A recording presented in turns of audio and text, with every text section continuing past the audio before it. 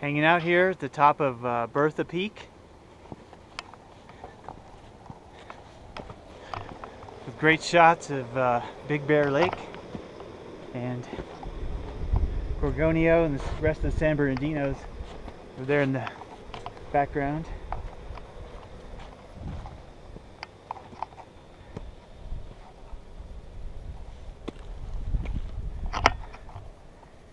Pretty easy climb though.